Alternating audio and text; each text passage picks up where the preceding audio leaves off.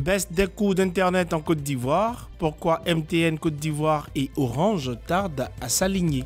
Promotion de l'excellence, la communauté musulmane instaure un prix. Et puis, au Soudan du Sud, la paix est célébrée au festival d'Awel.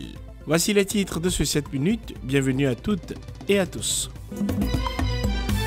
La hausse des prix d'Internet en Côte d'Ivoire est encore au centre des débats. Après concertation entre opérateurs, il a été décidé du retour au plus tôt des prix de l'Internet mobile à niveau d'avant le 6 avril 2023. Si pour Move Africa, ce retour au rabais est effectif depuis le 11 avril dernier, ce n'est pas le cas pour Orange et MTN Côte d'Ivoire, qui, selon cet expert en technologie de l'information et de la communication, ont leur raison. Il y a des discussions particulières à prendre. Il y a des discussions particulières à prendre au niveau des opérateurs.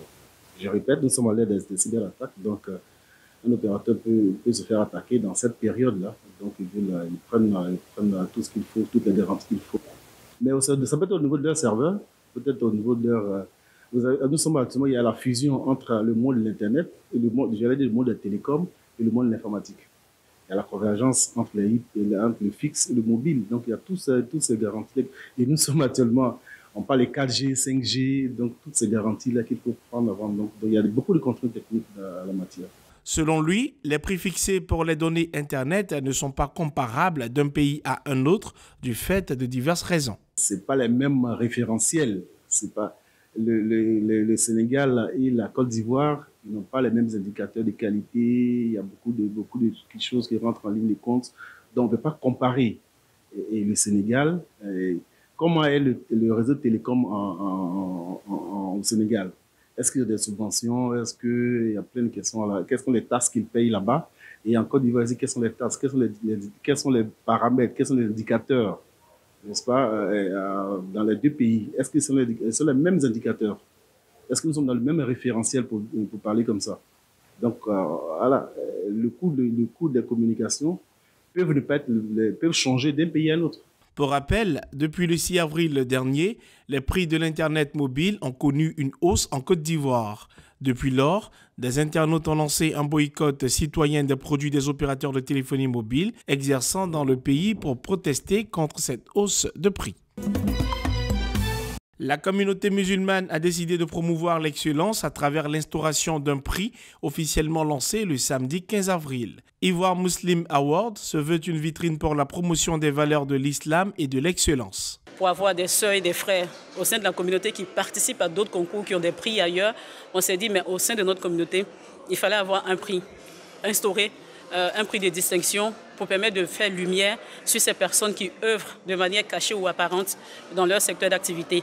Mais ce soir, c'est juste de situer dans les esprits et dans les têtes qu'il existe une vitrine, une référence pour les musulmans, pour la communauté musulmane, et le prix c'est Ivoire Muslim Award. L'éducation, l'innovation et la technologie, le sport, la culture, les associations, la prédication et l'imama sont entre autres les différentes catégories concernées par ce prix. C'est un jugement très positif parce que ça va donner encore une autre image à l'islam en Côte d'Ivoire. Mais déjà, comme ça ressort, on pense qu'Alhamdulillah, ce serait vraiment une valorisation de la communauté et puis valoriser ici l'islam et les acteurs aussi de l'islam, Inch'Allah, en Côte d'Ivoire. Bien sûr, surtout pour la communauté musulmane, je pense qu'elle est assez euh, discrète.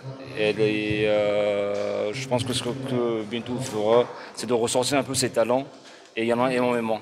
Et euh, sur tous les niveaux, que ce soit niveau professionnel, santé, euh, médical, euh, à tous les niveaux, donc euh, éducatif. Donc il y, a un gros impact à faire et ça pourra sortir un peu, sortir quelques talents de, de cette communauté. Selon le nombre et le genre de candidatures reçues, un seul prix sera décerné par catégorie.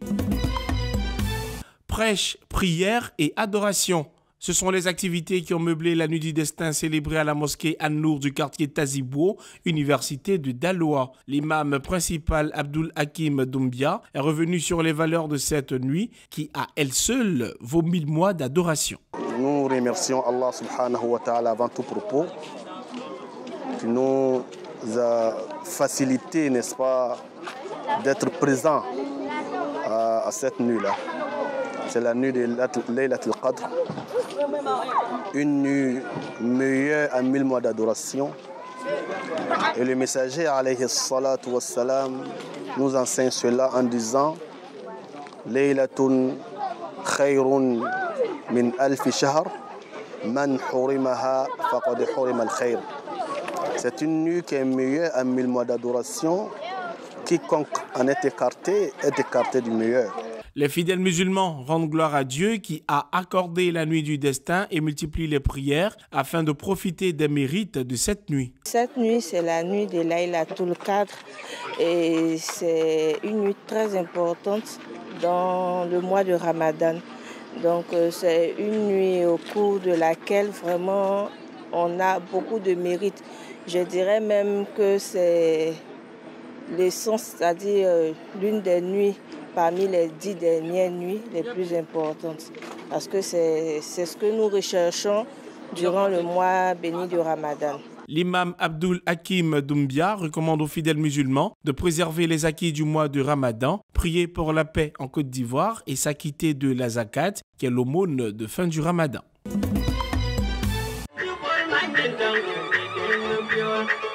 12 ans après sa naissance, le Soudan du Sud a le regard tourné vers la paix. Pour matérialiser ce désir, un festival a pris place dans la ville d'Awel, située au nord-est du pays.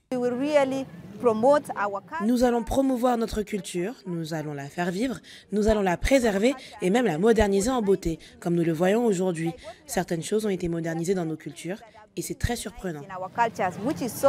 Il faut dire que l'histoire du Soudan du Sud est marquée par une guerre fratricide sanglante de 2013 à 2020, un conflit fratricide dont les leçons ont été tirées. Nous considérons les diverses communautés présentes au Soudan du Sud comme une composante essentielle de l'État. C'est pourquoi lorsque nous avons organisé ce festival régional, nous ne nous sommes pas concentrés sur une tribu en particulier, mais plutôt sur l'inclusion de toutes les tribus du Sud-Soudan. Nous voulons refléter cette paix et cette coexistence pacifique sur tout le pays.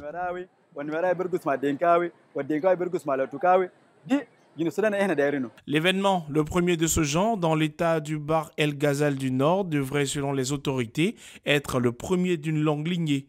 Une plateforme devrait être créée en vue de renforcer la cohésion entre les tribus.